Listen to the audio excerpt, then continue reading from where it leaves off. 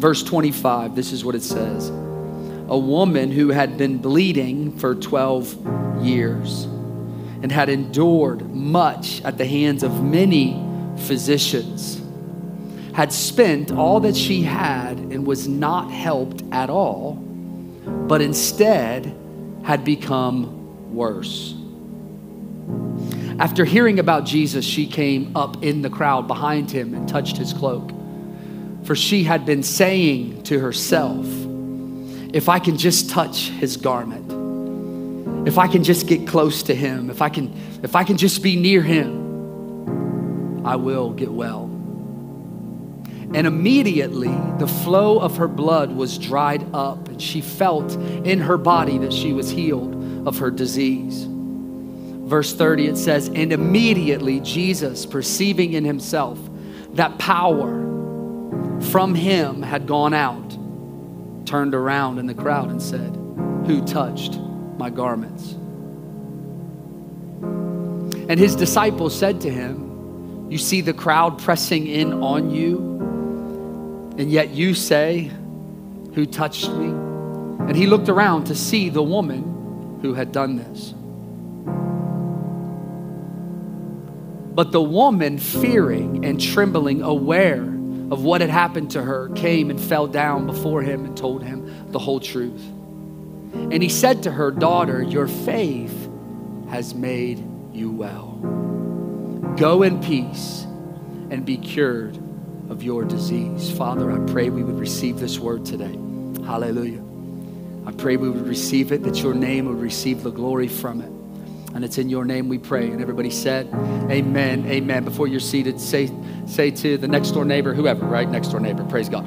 The person sitting beside you, press into him. Press into him. Come on. Man, well, I hope you all are good this morning. I hope that you realize that this is a day that the Lord has made so that you can rejoice and be glad in it no matter what's happening around you. I think that's, that's really important uh, to understand because, man, life has a funny way of beating us up and, and really trying to get us down. But if we can realize, no, wait a minute, this is a day that the Lord has made. And here's the truth sometimes in life, man, the only thing I can do is rejoice that my name is written in the Lamb's book of life because life has beaten me up so badly and things are coming against me that I have to remember no, wait a minute, I'm rejoicing not because everything in my life is good, but because the God I serve is good and my name is written in heaven with Him. And so, man, I can rejoice in that fact and be exceedingly glad, even though this world is trying to persecute me and do all kinds of manner evil against me. But, man, sometimes that's what we got to have. Amen. Amen. I hope you guys came ready to press into Jesus. If you're ready, say, I'm ready. I'm ready. Amen. Well, I believe I have a word for you today. But before we hop into it, let me just let me just say this. If you haven't taken the opportunity to sign up to help with the carnival, come on, somebody. Man, do so. yeah, do so. Because uh, we need your help. We need your help to be able to, to pull it off. And it's a great opportunity, listen, to, to be able to come alongside your church family and get to know one another and connect with people in your church family. And so, man, I hope you take that opportunity. Another thing that it's, it's really good at is it, it, it causes us to, to serve the families in our communities, which, by the way, is biblical, just so you know. So the Bible says to serve and not just be served, that the greatest among you will be the greatest servant among you. And so it's a great opportunity to be obedient to the Word of God by coming and giving up some of your time to be able to, to be a part of sharing the gospel um, with those that, that live in our community. So stop by Connect Central on your way out. Uh, and, and sign up. Because here's the thing we only got two weeks. It's two weeks away. The carnival is two weeks away. We'll have a few thousand people descend upon us, and we'll get to minister the gospel to them two weeks from now.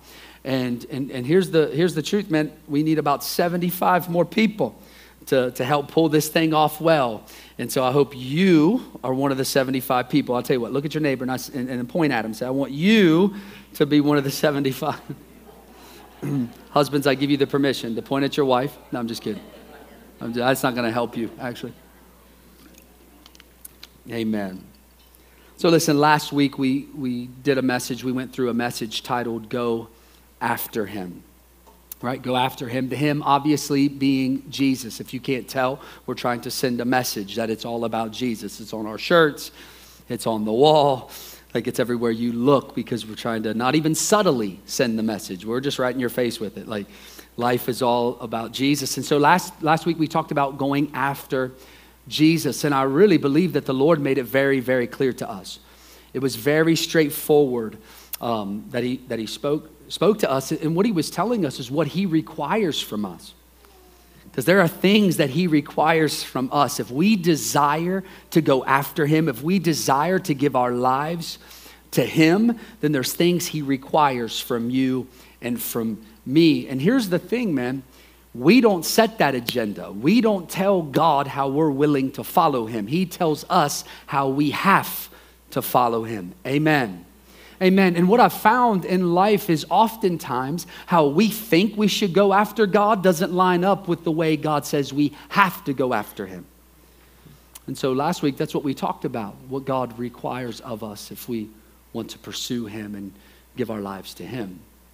And this week, if I had to title the message, I would title it Press Into Him. Press into Him. And here's the thing, right? Going after Him and pressing into Him aren't always one and the same.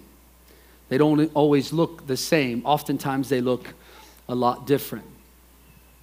You know, there's, there's people all across the world, especially in America right now, who have gathered into churches. And, and they would say, they would say, I'm, I'm, I'm going after Jesus just because they are in church, but they aren't pressing into Jesus. They didn't come into the house of God desperate to get close to the Son of God. They aren't worshiping God.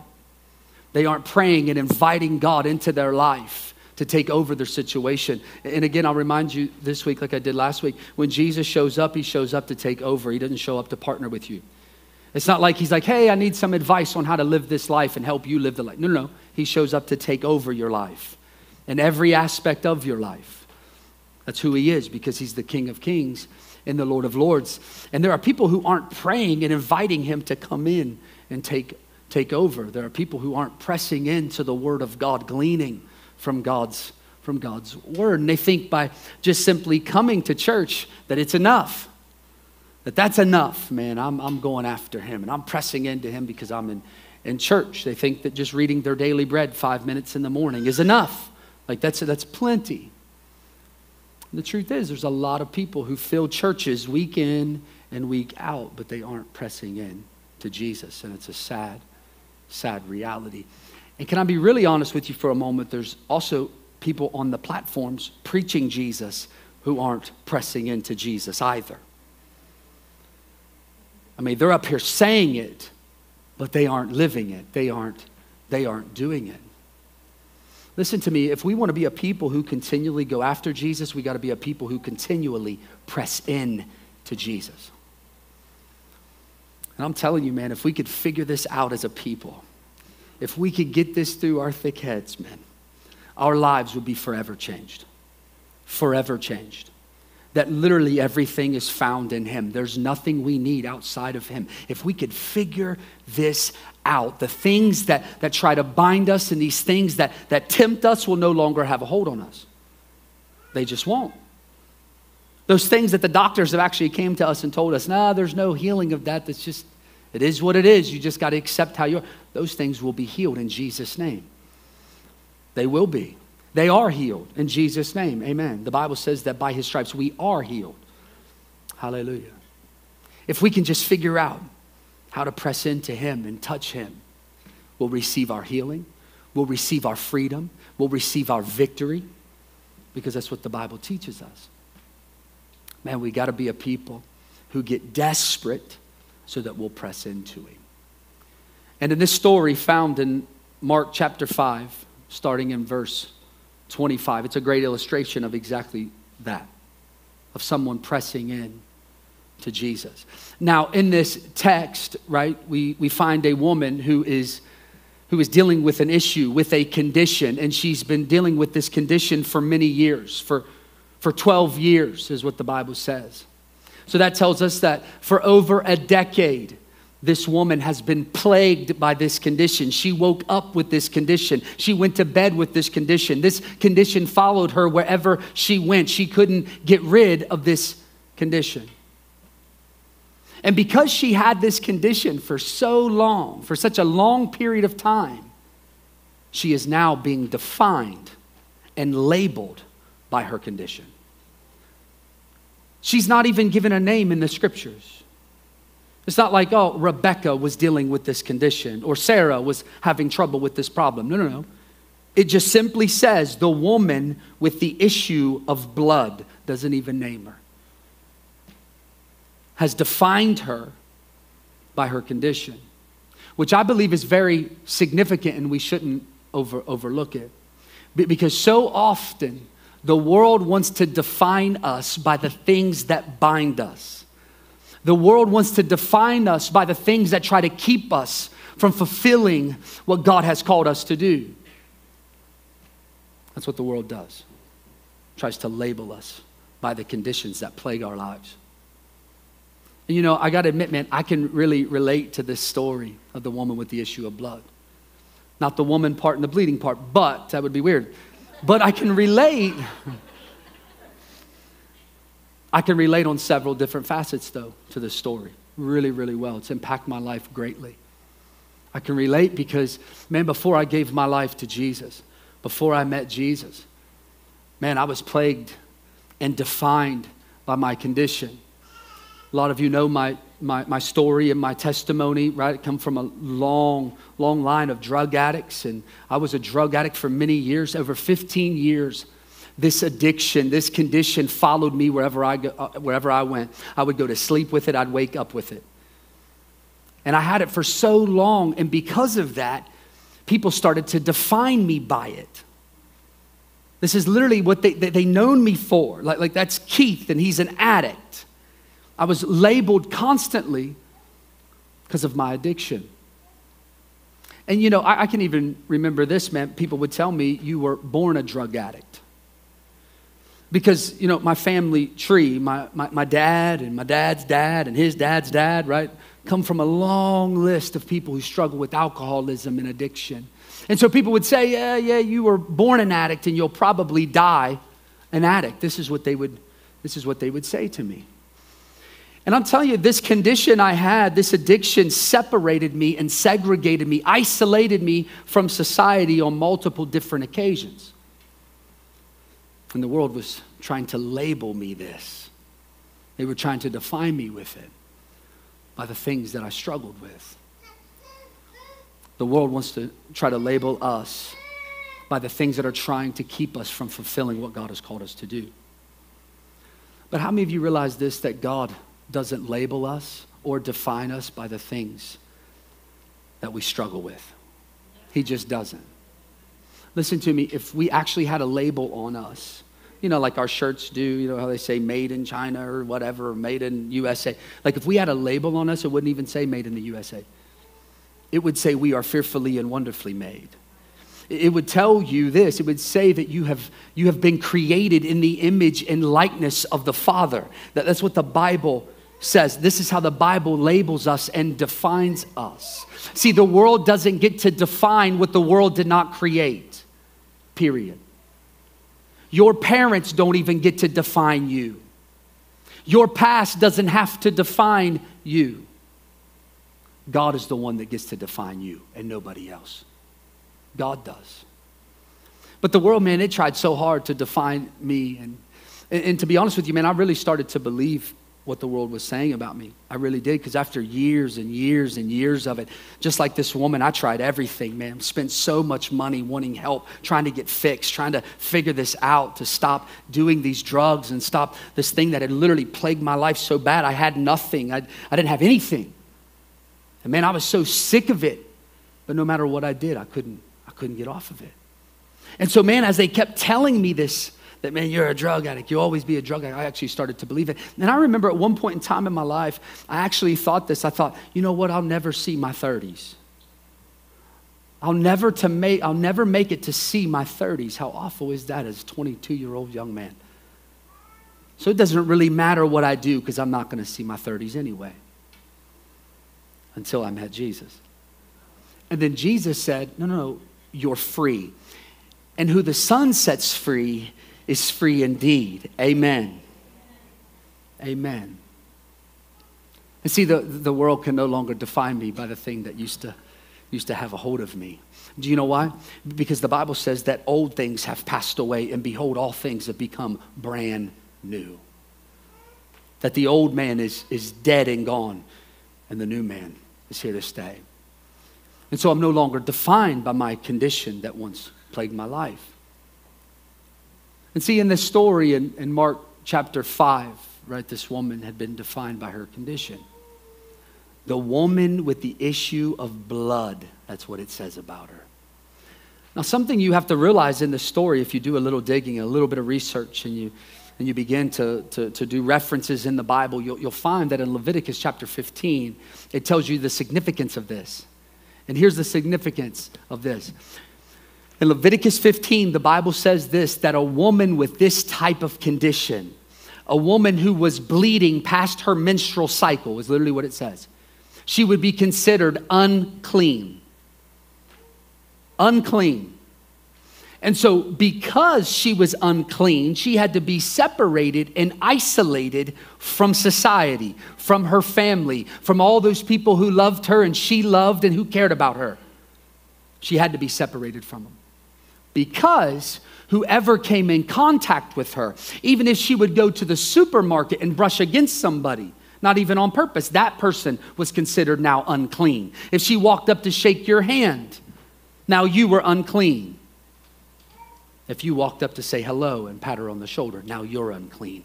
And that made everybody who came in contact with her also unclean. And so they had to isolate and separate from society as well.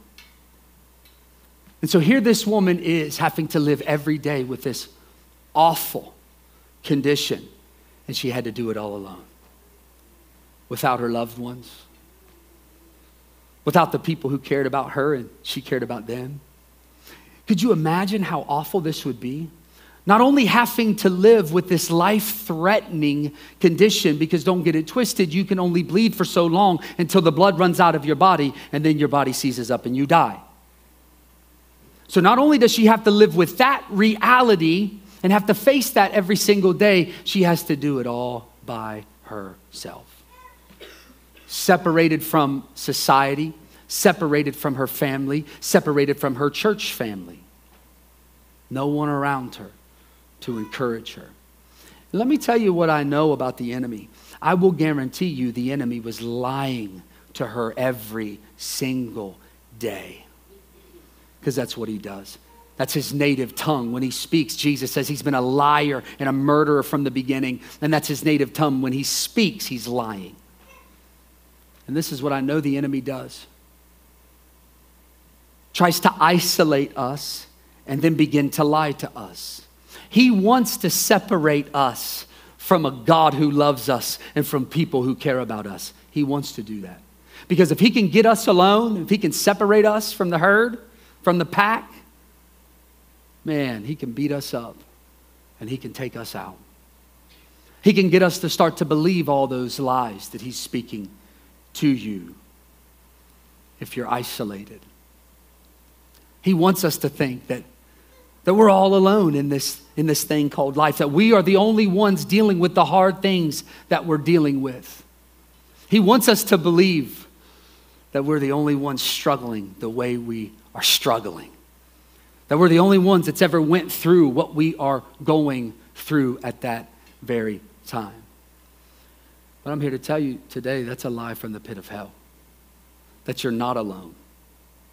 That you're not alone. And listen to me, somebody, somebody actually needs to hear this today. I felt the power of the Holy Spirit when I, was, when I was preparing this message, that somebody needs to hear this today, that you're not alone. And what you're dealing with, the hard thing that you're dealing with, someone else has struggled through it too. Someone else has went through it. And listen, maybe the thing you're dealing with is an addiction whether it's alcoholism or, or drugs or pornography or lust or, or, whatever the case may be, I felt like the Lord wanted to, to say to you today, you're not alone. You're not alone. Listen, the Bible is clear. It says this that no temptation has overtaken you, such as common to man. But God is faithful and will provide a way of escape. Simply saying this that all of us are going through something.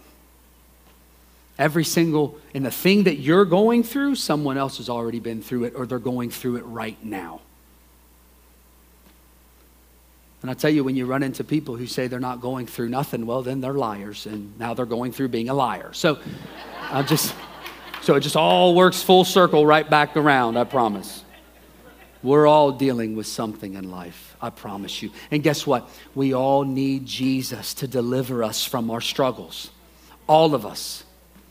All of us need Him to set us free from those things.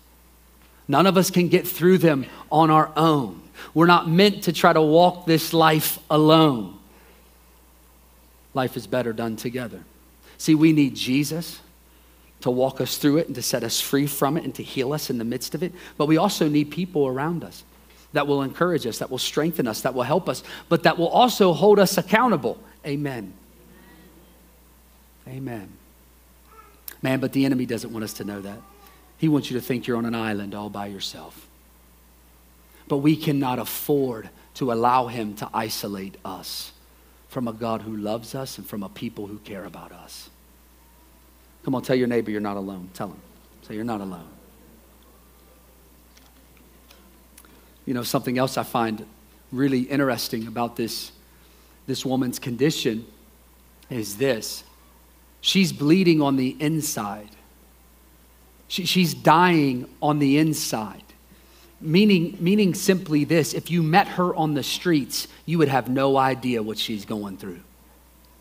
You would have no clue about her bleeding on the inside. You have no idea about her, her condition. Because everything she's struggling with is internal, it's all internal. See, so often people are struggling with things that no one else can see. No one else can see. Sometimes that's an addiction. Other times it's depression and anxiety. It's fear, it's doubt, it's hopelessness, it's insecurities, you, you name it. And people actually, they, they try to mask it. We, we try to mask it. We try to put on a good face. I always say this that people come into church and they put on their Jesus face, like everything's all good. Knowing doggone well it ain't no good. I'm not sure if it's a good word to say from the pulpit or not, but I just did. I don't think it's bad. Lord, forgive me if it was. but they really do, man. People put on their, their, their Jesus face in hopes to, to hide what they're dealing with and what they're going through. Try to make everybody think that they got it all together, that everything in their life is just hunky dory, right? But they're bleeding on the inside, they're dying on the inside, and they're losing their faith with every passing moment. And because we can't see it, we don't even know that it's happening. And I bet you we could, we could go around this room, which we will not do, by the way we won't do it. I won't do it to you. but we could go around this room right now, and there's people right now in that, in that circumstance right now who are dealing with this very thing, who are trying to cover up their bleeding, who are trying to cover up the fact that on the inside they're dying and they're not sure how to get out of it. People will come in and their marriages are in shambles but will put on a face like everything is okay in my marriage when they're on the brink of divorce. This happens constantly. And, and hear me, if you're, if you're here, if you're here today, man, and this is what you're dealing with in your life right now, I want you to know that even though, even though we cannot see it, God sees it. God sees every broken place. He says he sees every place that you're bleeding on the inside, every place that you're hurting, all the pain and the suffering that you're dealing with that nobody else can see. He sees it and He wants to heal you from it, He wants to set you free from it. I'm telling you, God wants to restore every broken thing in your life. He wants to reconcile every broken marriage that the enemy has tried to steal, kill, and destroy. And what this shows us, this story, that is if, if we can press into Jesus, if we could just if we can just get to Jesus and touch Jesus, that Jesus will turn what the enemy meant for harm for your good. I promise you, because the Bible says it. And I'm telling you, I'm not just saying it because it sounds good to say. I'm saying it because I serve a God who is good. I'm saying it because I believe it with every fiber of my being, because I've, I've experienced the goodness of God in the land of the living. I've walked it and seen God do it in my life time and time again. And I know this that if, man, if we can just have one touch from Him, just one, our lives will never be the same. Everything will change in our lives if we can just press in and push past all the distractions of this life. This woman has this, this issue, this issue of blood. And not only has she been dealing with this issue for a very, very long time, and not only has she had to do it all alone, separated from society and isolated from her family, but also it's cost her everything she owned. Literally everything that she owned. And this is what it says in verse 26 of Mark chapter 5. It says, She had endured much at the hands of many physicians and had spent all that she had and was not helped at all, but instead had become worse. Hmm. Not only couldn't they help her, they made her worse. See, see, listen to me. The world cannot offer you what they cannot give you. That's actually really, really good. The world cannot offer you what they don't have to give you. This woman was so sick and tired of being sick and tired. She was so sick of all of it that she spent everything she had to try to get over it, try to get through it. Visited as many doctors as she possibly could. She had the greatest and the latest that modern medicine could have to offer her. She went to all the best doctors, she did all the best treatments, she tried all the brand new drugs, did all the latest surgeries. But nothing helped her. It actually made her worse. And so I started thinking, I wonder how many times have we done this very thing in our own struggles? How many times have we done this very thing when we're struggling in this life? How many times have we went running to the world looking for answers instead of getting desperate for Jesus and pressing into him and having him touch us? How many times? I've seen on multiple occasions people struggling with depression and they come in and, and talk and, and all those different things, and, and, and I think that's good. But a lot of times, what I see is instead of pressing into Jesus to heal them from the depression, they go and get a pill from a doctor wanting a quick and easy fix, a momentary release. And listen, I'm not talking about nobody. I've done this kind of stuff myself in my life. There's been times in my life where I've, I've struggled so bad with depression and anxiety. The anxiety would become so, so overwhelming. And I'm not just saying my heart beating fast and me getting sweats, like where I will literally pass out on the ground. Boom, on the ground. Wake up, like, what in the world just happened? My wife saying, You all right? You all right? In front of all these people at the airports and on airplanes. And it's happened several times. And that those times in my life, what I did was instead of pressing into Jesus and believing Jesus for my healing, I went to get a quick fix from a doctor and saw many doctors. How do I, how do I just, I just want to take a pill and get over it and get on with my life. I want the easy way out of it. But you know what I found every time I did that? And every time someone else did that? They ended up worse off than they did before. They ended up worse off. I ended up worse off even than I did when I had the anxiety attacks. Man, we got to stop taking the easy way out. And instead, we got to be a people who are pressing in and being desperate for a touch from Jesus. Because hear me, listen to me. Only Jesus can do Jesus stuff. He's the only one. He's the only one. Jesus is the only one that can heal you. Jesus is the only one that can sustain you. Jesus is the only one that can satisfy you. Jesus is the only one that can set you free. Whatever you need free from, He's the only one. See, the world cannot offer you what they cannot give you. They can't take your depression from you. They can't. They can offer you a counterfeit to mask it for a little bit. They can't take your anxiety from you. They can't take the, they, they, they can't take the addiction from you. They can't. Only Jesus can do these things. See, this woman's condition got worse and worse and worse because she ran to the world looking for answers when she should have been desperate for Jesus, pressing into him and trusting him to heal her. Her condition got worse and we'll be no different. We'll be no different. Verse 27 through 29 says this after hearing about Jesus. Now, all of a sudden, she, she hears about Jesus. And she came up in the crowd from behind him and touched his cloak. For she had been saying to herself, if I can, if I can just touch his, his garment, if I just get desperate enough to press into him, I'll get well.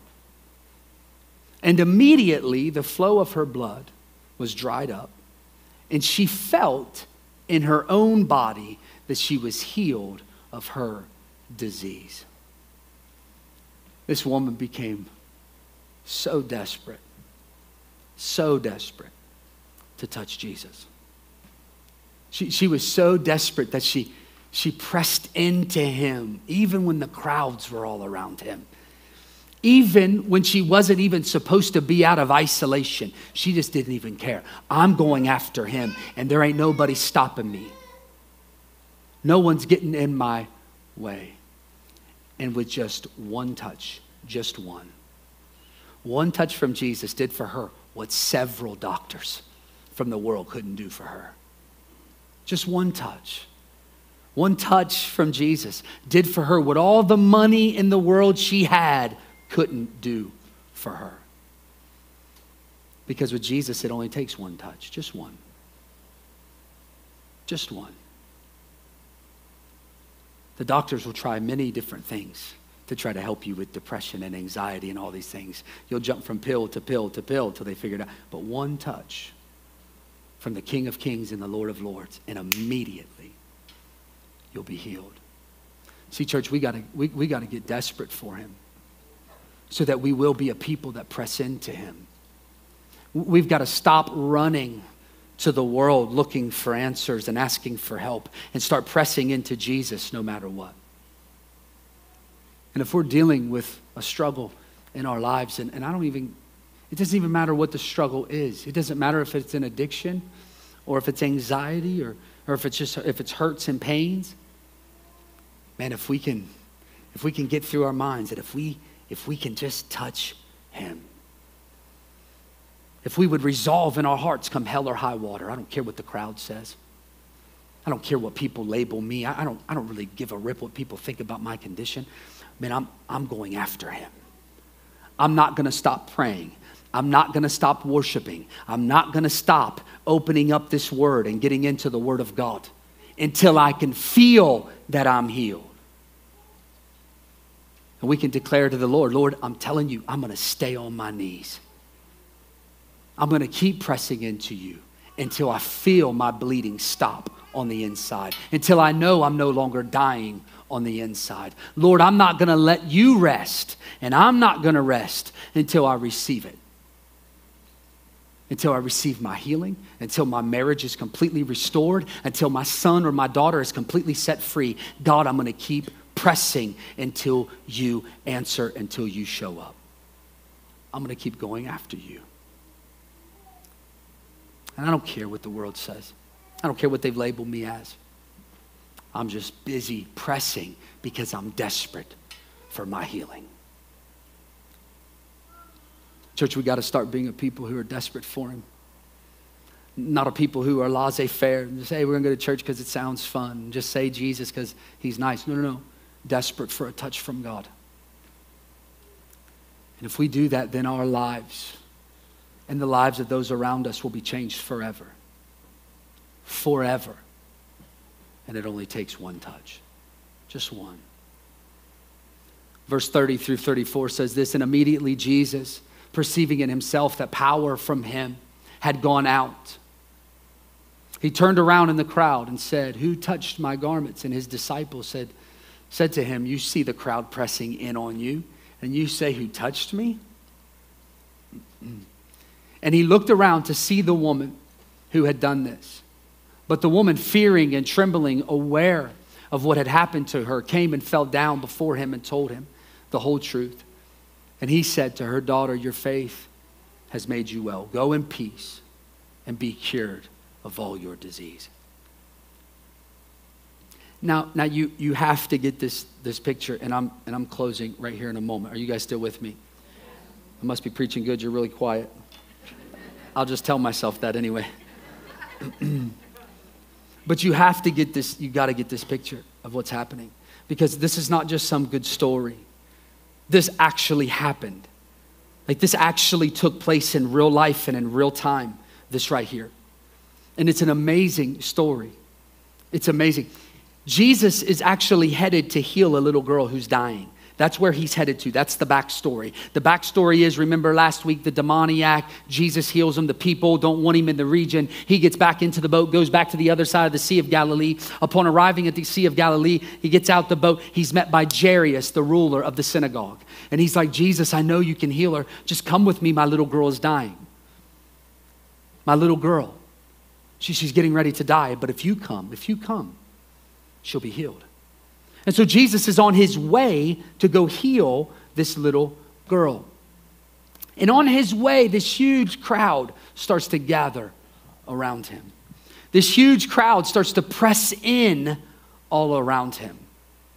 But I find it interesting that they're pressing in all around him, but they're not pressing in to him. I mean, they are following him in hopes to get something from him, in hopes to see him perform a miracle right in front of them. They're just, they're just following him. And this scene, I think sometimes we think like it's just real nice and neat and orderly. Like the people are just, hey, Jesus, how are you? You know, they're just kind of walking in a single file line. No, no, no. It's a mob, it's mayhem, it's chaotic. The Savior of the world has now just touched down on the earth, and He's healing every sick person and every demon is coming and they're fleeing like crazy. And so all these people are just pressing him and they're mobbing him. They're clutching him. They're pulling on him.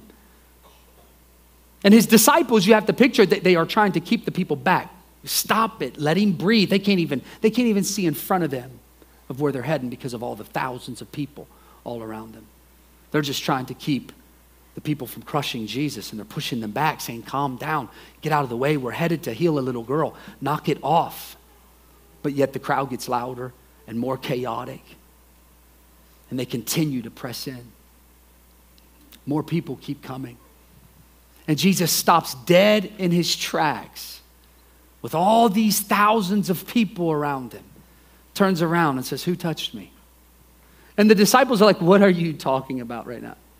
Everybody's touching you. I mean, dude, we're trying to save your life because they're going to press you, like they're going to smash you. What are you, what are you even, what are you even talking about, Jesus? And he ignores all of that and he turns around and starts looking for the woman who had done this. And right there and then is where the Lord started to stir this message in my heart several weeks ago when I was on vacation. I was just reading it in my personal devotion time. And the Lord said to me right then, He said, There is a way that you can press into me, and your pressing will cause me to look for you. And man, this blew my mind the Lord was like, listen, the way you press into me will get my attention focused on you. Even though there are thousands and millions of people praying to me, prodding me, asking me for all kinds of things, but your pressing can cause me to look for you in the midst of the crowd, in the midst of the chaos. There's a way we can press, press into Him to cause Him to shift His focus to us. If we do that, then the Lord says, I'll heal you. I'll heal you. I'll strengthen you. I'll set you free. I'll reconcile back to you everything the enemy has stolen from you. But first, you have to press into me. And I don't know about any of you, but it did. It blew my mind. I was so excited when I got this word. That the way that, to think the way that I press into the King of Kings and the Lord of Lords can cause him to look for me The way that I press into the one who, who by the splendor of his very breath spoke the world into existence and in, then into to motion. He says this He says, If you press into me, I will look for you. You know what I find to be amazing? That when we press into him, we'll see he's always been looking for us. That's what's beautiful. If you press into him and you're desperate for him, you'll get his attention. You'll get his attention. This story of the woman with the issue of blood is such an amazing truth. It's such an amazing truth. And yes, I said it's, it's, it's truth because I believe that 100% of this book is true.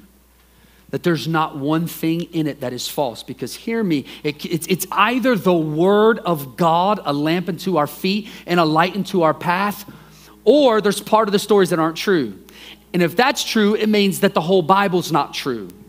If Jesus isn't exactly who he says he is, it, it, it, kills me when people say, Well, I think Jesus was a good man, but not the Son of God. No, no, no. Either Jesus was the Son of God or he was the biggest fraud to ever live.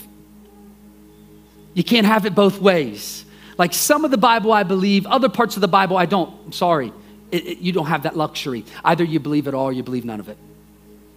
And I choose to believe it's 100% true that God inspired man to write this by the power of the Holy Spirit in that every comma, every apostrophe is perfect. Every story in it is for us to glean from and to learn from so that we can learn to press in to the Son of the Most High God. So that then He will make us whole and make us complete. That He will heal every broken place in our lives. See, this, this woman with the issue of blood, it's, it's amazing because she was a woman who was once defined by her condition, but now she's defined by her healer. I love it. This woman who, who once was, was broken in so many areas of her life has now been completely made whole. With just one touch, just one. It wasn't like she had to follow Jesus for a long time. It was one moment and one touch with the king, and everything in her life changed. This woman searched the entire world and all the smartest doctors in it. And one moment with him, one touch from him, did for her what the world could not do for her. Telling us all we need is one, just one touch, just one. And everything in our lives, everything in our lives, the hurt, the pain, the brokenness, all of it, all of it will be healed immediately. Come on and stand to your feet, please.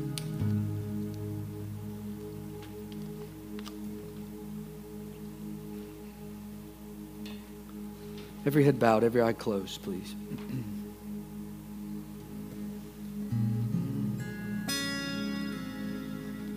Lord, you see every person here see every heart in this place. You see all the brokenness in this place and within us. You see the brokenness, Father.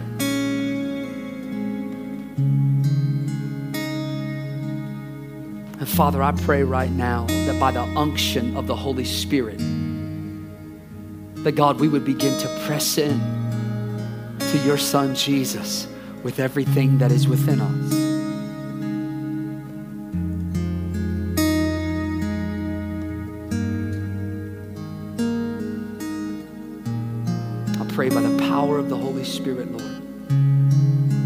That you would begin to move on the hearts of men and women in this place.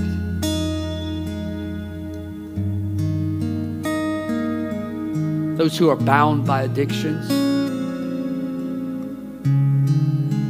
bound by insecurities, bound by infirmities. Father, I pray that they would push past all of that to come after you,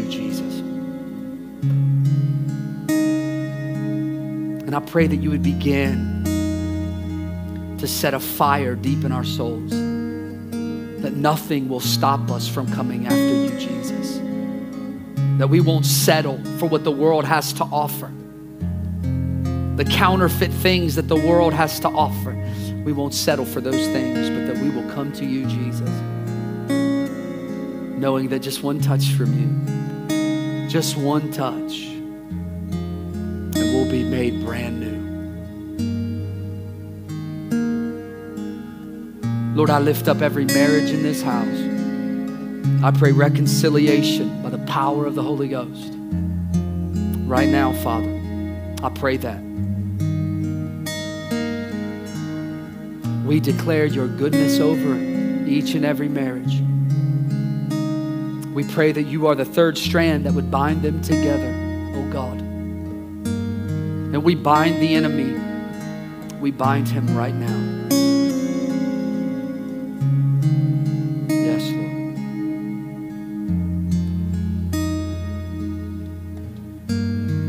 Jesus, we thank you that you're all we need, that you are the one stop shop, that we ain't got to go to other bunch of different other things or people. We can come to you and receive everything that we need. I pray we each have a revelation of that today. Reveal that to us today, Father. And give us the desire and the hunger to come after you, Lord, with everything that is within us. In Jesus' mighty name.